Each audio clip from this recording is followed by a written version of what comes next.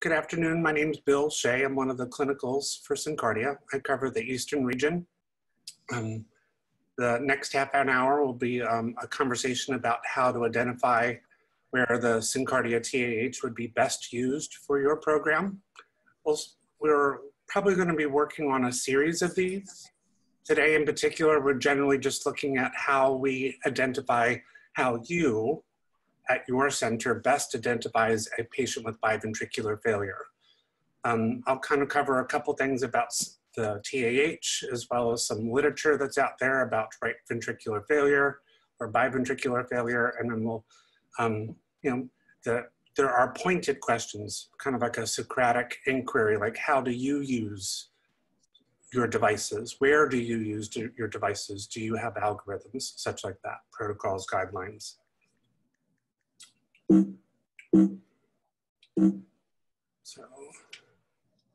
the next one.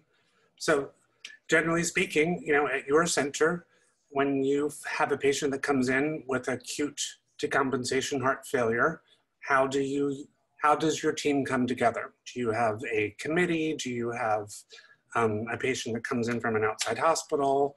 How do you come to a decision on what choices for devices, short term to long term, um, and access to advanced heart failure therapies. I pulled this from the Journal of Canadian Cardiology um, 2017. It's just an example of a short-term algorithm and how this, a couple centers in Montreal and Quebec use short-term devices to support patients. It's not a recommendation by any stretch of the imagination, but in terms of teams, you know, the, the cardiac team is the buzzword these days, you know, the heart team. So how do you use, where do you use, and for what indication do you use your um, devices?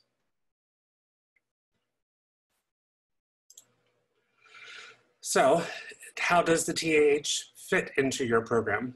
I saw this the other day and I thought it was kind of perfect. Like, so there are some centers that have a lot of volume of TAH shown by the um, shown by this up here, like the TH is acceptable for any patient and then having to follow the maze for cheese. And sometimes what we end up with is the last resort. So like, where do you find yourself on the spectrum for the use of your devices, including the TAH when you use them? So I just kind of put up here some general indications of where we might see the TAH used. On the left-hand column, it's more of a medical pathway, and in the right-hand column, it tends to be more of a surgical pathway.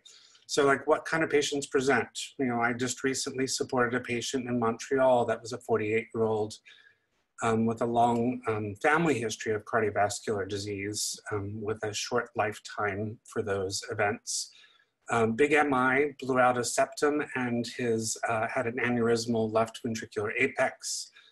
Um, ended up getting a TAH immediately upon transfer to the Montreal hospital and was transplanted within a week. So, you know, generally speaking, like where we'll see a lot is, of course, cardiogenic shock, very popular is our malignant arrhythmias. Things that are developing um, for us at uh, SynCardia is our congenital platform for the adults now that are reaching um, the end of life for their procedures. You know, are they transplantable and what kind of anatomy will they need for transplant? Another popular indication is restrictive um, physiologies, something where the myocardium becomes so hypertrophed and fibrosed um, and then obviously these are typical other uh, indications here on the right-hand side with, um, excuse me, uh, surgical indications. When we look, so going from the indications or possible etiologies for our advanced heart failure patients for the use of the TAH and other devices, what are some of the risks for the TAH? I mean, we talk about this all the time with patient timing and selection, right? Like when they're already on dialysis, like how bad is their heart failure, their acute heart failure that they're now on dialysis or they're now on some short-term MCS like ECMO. um, where their liver is in shock as well. I mean, these are not new to us in terms of the MCS spectrum, but you know, the higher the, the lower the albumin and the higher the bilirubin, they tend to not do as well, depending on whatever device you use. So is the TAH the best option and when is it good to use the TAH? You know, I don't know how you review your patient selection for devices. You know, you rescue them, you try to stabilize them, you try to reverse some of the end organ dysfunction, right? So patients on ECMO, how long have they been on ECMO? What are their hemodynamics? You know, right heart cath, echo, other kinds of imaging that you might want to use. Um, we have one popular surgeon that likes to actually consent for all possible devices and then open the chest and evaluate the right ventricle just as he opens the chest. Um, interesting consenting process. I just brought this paper in just for um, an idea. Since no one seems to have a general consensus of what white ventricular failure looks like, we took the INTERMACS report from 2018 of all the TAH implants that were taken to date at the time and what the baseline characteristics and patient characteristics look like. In terms of describing right heart failure, obviously they were already on dialysis, they were already being supported or dependent upon the ventilator. They were on some sort of other temporary MCS and that they had severe um, structural disease as well. Interestingly enough to notice that the LDH uh, uh, an enzyme for liver function and perfusion, typically under 250, the mean was two to three times that of the upper limit normals. You can see here, 80% of the patients were an INTERMACS patient profile of one to two, 75% of them were on inotropes, and at least 50% of them had the diagnosis of dilated cardiomyopathy. If any of you have any questions about that, I do have more information on that paper. But but we've tried, right? Like if I was a center that's taking care of these patients with temporary devices, like I have tried to evaluate or I have done everything I can to optimize uh, forward flow, either with temporary devices or other medications. You know, how can it be used? Obviously, we just briefly covered the indications and the disease processes to identify biventricular failure but how do you as your center predict right heart failure or identify it? You know, I just listed a couple things here, but you know, typically renal and hepatic function is obviously a long, long-term impact of acute right heart failure. Do, I don't know, do any of your centers, do you at your center use a right heart failure risk score? And then in some cases, we have some patients uh, excuse me, they have some centers, some surgeons and cardiologists that use a temporary short-term device for the left side to identify um, if the right side can handle a device. So I've been someone in my career as a VAD and ECMO coordinator where we've put an Impella or a balloon pump or CentraMag or some kind of short-term device to see quite um, how the right side does when we unload the left side. Sometimes it goes well, most of the time it does, and then there are times when it doesn't. You know, which are, are those the patients that we want to use? You know, this is what I mean about the inquiry. Like, are, is this the patient that we're talking about that um, would benefit from a TAH?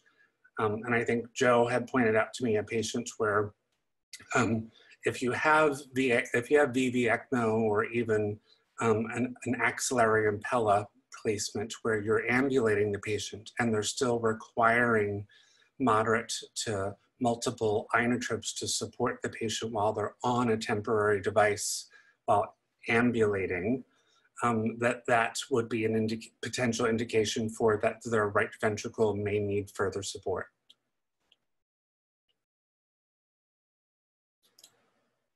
Pardon?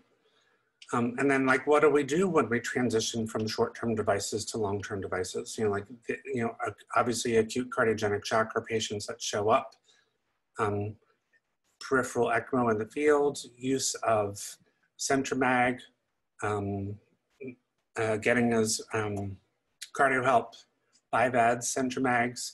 Is there anybody in, in your institutions that are using durable BiVADs? like HeartWare or even HeartMate 3, you know, and at what time do you transition these patients to those devices from short-term to long-term? You know, what is your end organ perfusion marker for moving towards surgery? You know, nutrition, um, liver, kidney, right? How are they able to participate in terms of their neurological function?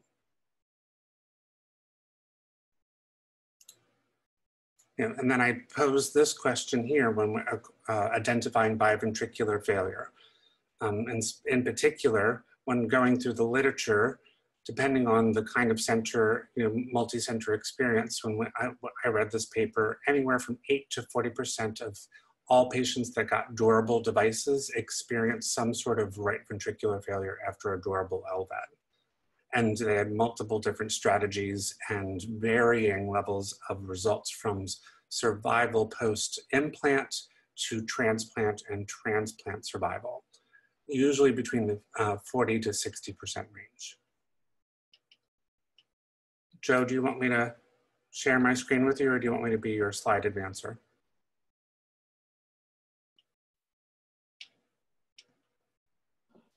Uh, you can uh, I'll I'll uh, I'll share my screen.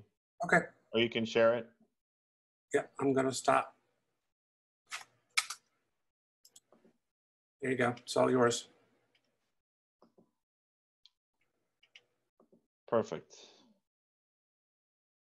Sorry, I was ahead a couple slides. Yeah.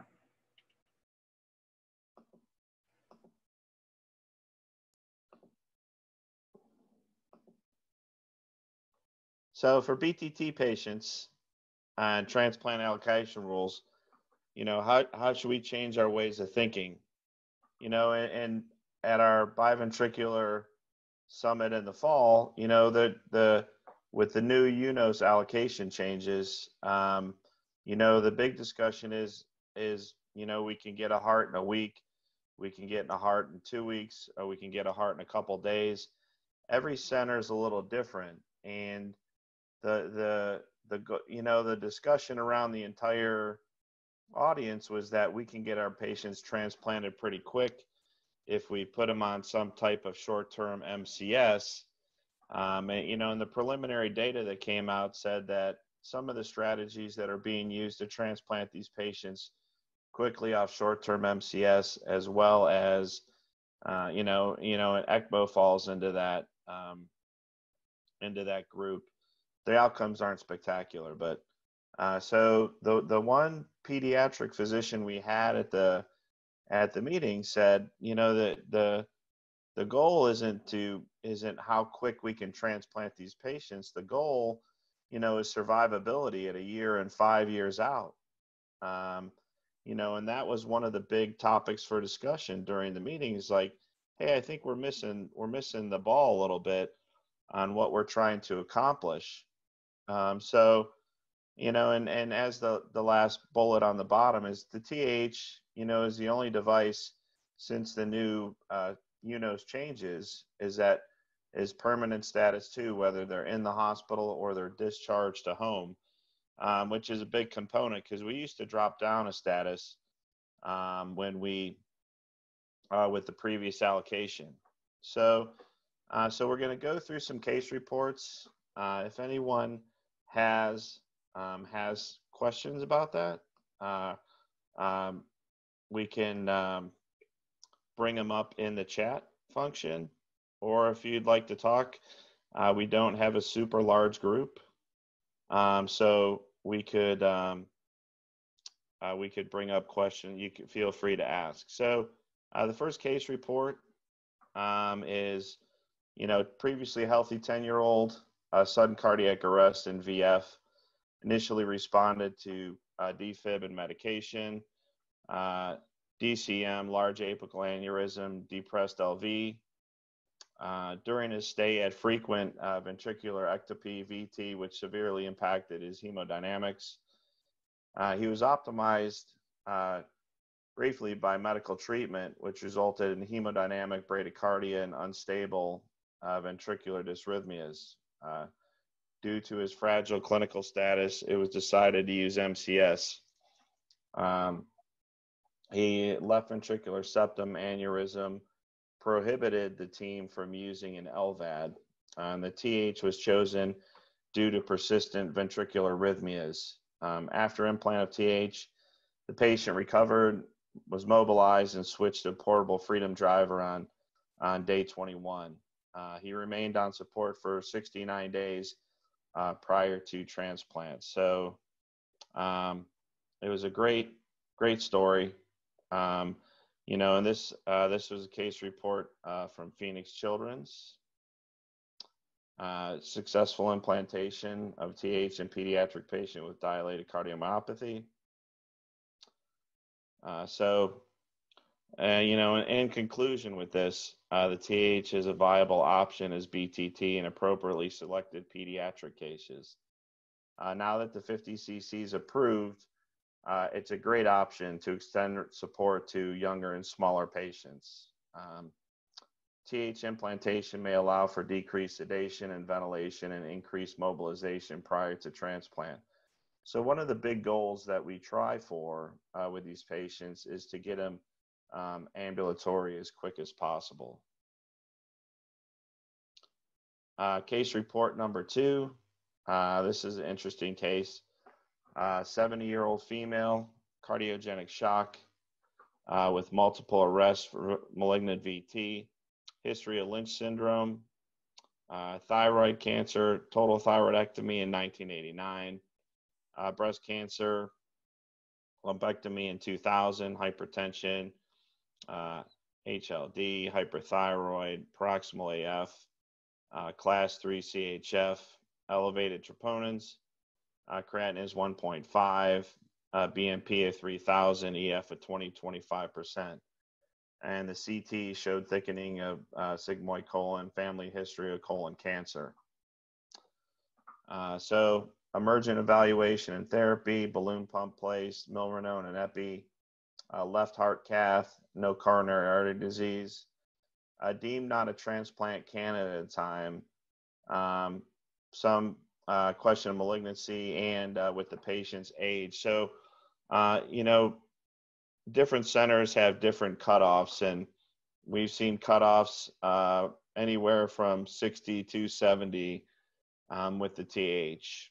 Uh, VCU is our most uh, active user in the US as a single center. Um, and their cutoff for TH was 60 years old or is 60 years old, and their bridge rate is 82%, and it's their survivability post transplant at a year is is 80 to 83 percent. So they uh, their cutoff is 60, uh, and reason being is um, they they found that uh, the older patients have a difficult time of um, sur- you know surviving the multiple surgeries uh, that was their argument and and going from 65 back to 60 with the TH. Um, this patient again was 70, uh, got transplanted. Uh, things went well. You know, again, uh, we've talked with different centers that do different things with uh, timing and limitations. So, what would you do? Uh, you know, with this patient, send them to palliative care uh, a durable VAD and ablation in the OR, uh, place on transplant list as an exception to our protocol, or implant TH as a DT trial. So, um, again, this patient um, was looking for options. So uh, they decided to go TH, uh, and the patient went from a DT status to transplant. So it was a great success story. Some unique and differentiating features of the TH. Um, single integrated device for BIV failure. Uh, it's the only labeled device uh, that's approved for biventricular support. Uh, unique blood handling, uh, no bearings in the circuit. and we, uh, with the TH, uh, you have the ability to run these patients with near normal physiology, low CVP, pulsatile flow. Uh, it's less preload sensitive. Um, utilize when short-term device with medical care is not trending in the right direction after week one in the ICU. And then, as you can see, the scales are tipping in the wrong direction medically and economically for the team. Um, so, TH etiologies, uh, this is from an INTERMACS publication. Um, you know, in the lion's share of the patients uh, in this publication were dilated cardiomyopathy. Um, then, when once you drift down, it goes to restrictives um, and then ischemics.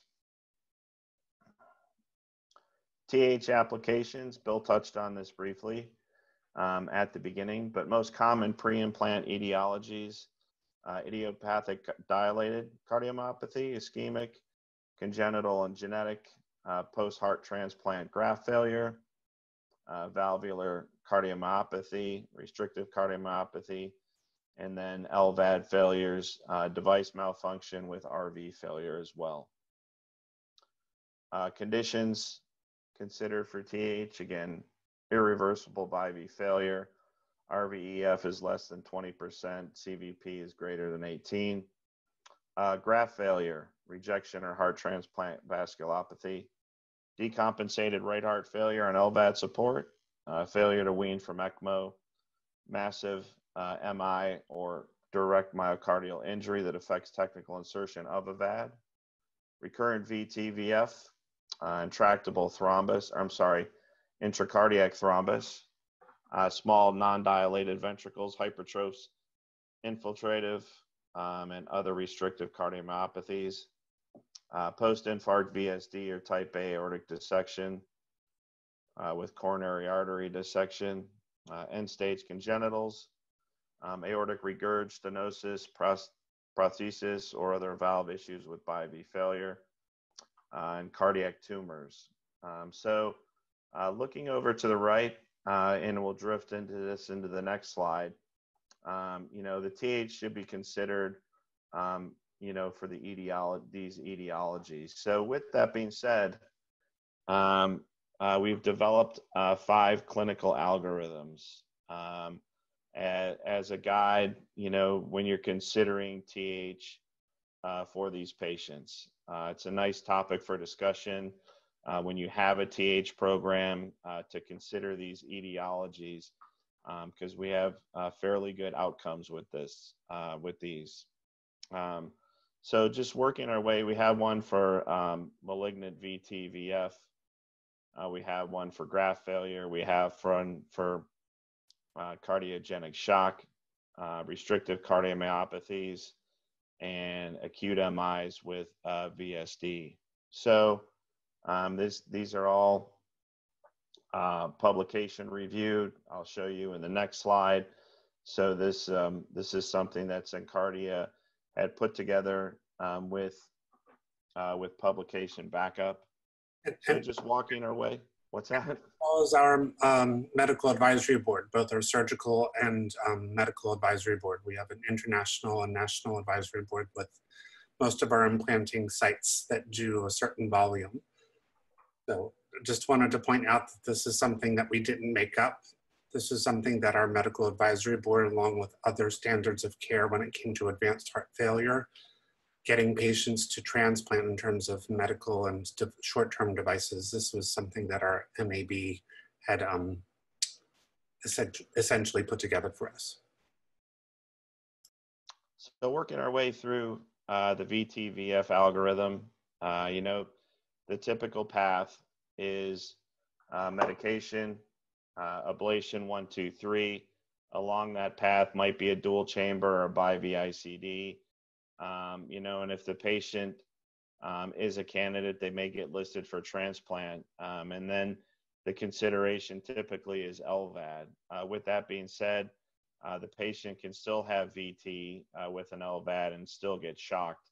Um, with TH, uh, we can remove um, uh, the the ventricles and um, stop the uh, defibrillation. You know, prior to uh, the patient ending up with um, uh, with shock syndrome. So, so medical severity increasing and or, or ablation un, unsuccessful. So we talked about that.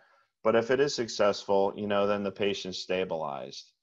Um, so um, if you, we keep going down this path, and some of these patients, um, that are ischemic cardiomyopathy. VT ablations are very difficult in, um, and there's multiple uh, different sources of where the VT is originating from.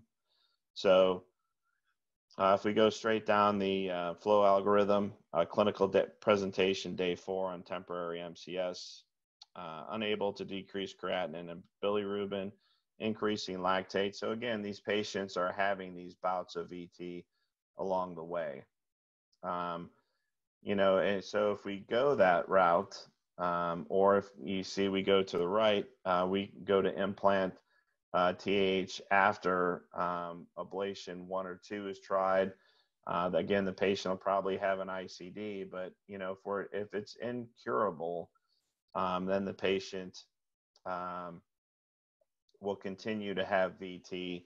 Uh, we have, you know, I've I've worked with teams and I've been on a team in the past over the years where we've left patients in VT and VF um, prior to transplant for a week or so. Um, so, uh, but going to TH again, we'd stop the vasopressors and inotropes, manage uh, the driver with goal to uh, lower the CVP, uh, manage fluid volume and creatinine with ultrafiltration and our diuretics. Uh, we could avoid blood products and uh, sensitization. And again, one of the things we discussed earlier is mobilizing these patients um, as soon as possible to get these patients in better shape for transplant. Um, you know, we, these patients, again, if we do, we are able to discharge them home prior to transplant, they stay a status two. So even if we had them out of the hospital for 24 hours and an organ becomes available, um, these patients will stay a status two. So uh, on the back side of the uh, the VTVF algorithm, uh, the goal is to maximize uh, survival post heart transplant. Plan to transfer patient if unable to see improvement within 24 hours. Um, so you know if the patient if if the patient is not currently at a heart transplant center, uh, timely consultation with the center to understand a current donor availability. Um, so you know there we go down these steps to help uh, teams build up their TH program. Uh, one of the things in discussing uh, different etiologies and algorithms, we spoke with the team, or I spoke with the team at VCU, and Dr. Shah had discussed uh, the fact that um, as a team, uh, when they became serious with their TH program, um, they had to, you know, look at different outcomes um, as opposed to using a BIVAD or using a TH or using an LVAD and temporary um, RV support. And, you know, they agreed on three or four etiologies, and one of the ones that they discussed was restrictive cardiomyopathy. And when they went to TH early with restrictives, um, they have a 15 to 20 percent better survivability than they do going with LVAD, BIVAD, or LVAD and temporary RVAD. So uh, this is a topic for discussion and say, oh, well, maybe we could use it for this or that, or maybe we missed a patient along the way. So again, I, I discussed these briefly. Uh, so these are the uh, five algorithms that we have. Uh, refractory VTVF we discussed. Uh, cardiogenic shock, as Bill discussed, uh, when these patients um, are on ECMO, you know, it, if we can make a decision earlier on whether they're a transplant candidate or not, um, it's a great idea to have an exit strategy um, because ECMO is not your exit strategy. Um, again, in leaving your patient on ECMO for an extended period of time um, prior to transplant, um, your, the outcome data uh, isn't in support of that. Um, MI with VSD, we talked about that. Again, uh, the repair issue is is one of the big big things when you have wide open VSDs associated with MIs. Uh, we we talked about restrictives briefly, um, and failed graft. The nice thing about using TH for uh, graft rejection is we can put the patient on the device, take them off all immunosuppression while we recover them and wait to relist them. So, in conclusion, Uh, the TH cohort is not an LVAD cohort. Um, it's a different implant strategy. It's a different thought process. Structural issues, uh, different in BIVAD versus TAH. Consider TH for INTERMACS patients uh, one through four. Uh, and then, you know, things we've discussed along the way with the dilators and the ischemics and the other multiple operations is consider the structural issues and indications and risk for death, uh, risk for death, sorry. And then uh, consider risk factors that were discussed. Um, so that being said, does, does anybody have uh, questions? I'll s- stop sharing. So Bill's up uh, now.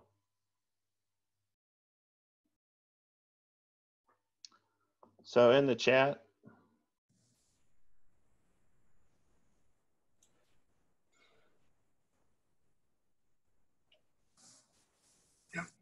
Yeah, I, I posted uh, just a question. So uh, if you have any questions, we, we, are recording this. So um, your uh, contribution can be shared with others. Um, I guess the, you know, the thing I really wanted to make sure you guys have an opportunity to discuss is how do you evaluate it? It's not just us as a company telling you something. We're not here to be prescriptive with you. So it's like, how do you evaluate it? Because your pathways to success are just as important as someone else's, even though we discussed VCU at length today.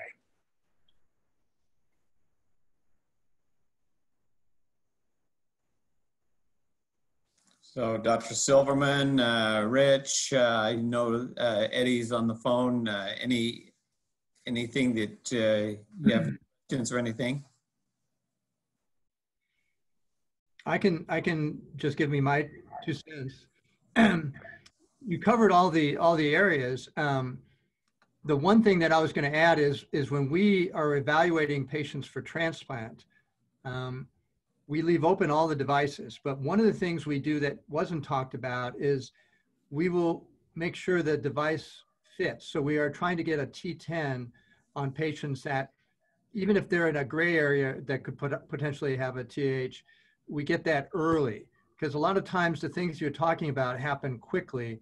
And and if if you literally are talking about th you should be moving in that direction as fast as possible because it, it just takes time. Uh, there's just a lot of pieces that sometimes have to come together especially since most of the centers aren't you know volume centers or don't do it that often.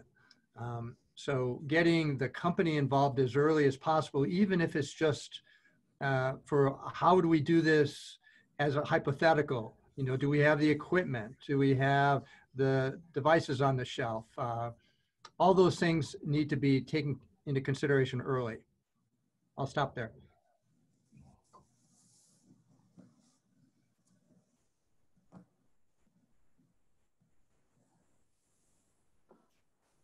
Steve, did you want to add on uh, the topic for two weeks uh, to the groups and the people that are on?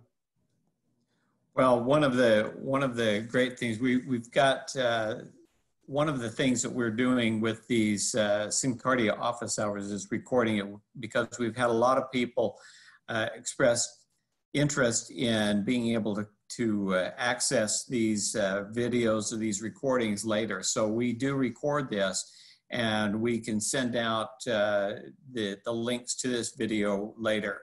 Now, in two weeks, we actually have a guest lecturer coming, and uh, actually, he's here with us right now, Rich. He's going to be uh, addressing in two weeks. He's going to be talking uh, about op- optimization of the driving system, early postoperative management, and assessing when it's time to switch from the hospital based driver to the freedom driver. And uh, he's going to address that plus uh, other topics that he feel he feels like would fit into that uh, category. And then in uh, at the end of this month, we actually have Dr. Keyur Shah from VCU, who's going to be discussing uh, to uh, provide to providers a little bit about his experience and and others. So. Uh, anything else that you have to add to that, Joe, Bill? Uh, you know, it, it, we're building it out right now, and uh, the discussion is going to be uh, the utilization in TH and uh, the restrictive population. Yeah, that will be the last uh, Friday of this month, so that's in four weeks from today. But and not only that, but like, what, what, what do you want to see? Like, so here we are talking about these different things, but you as our customers and our guests, you know, what are the questions, concerns, considerations you have um, that we can bring to you from not just ourselves as a company, but the experts in the field that are using the technology?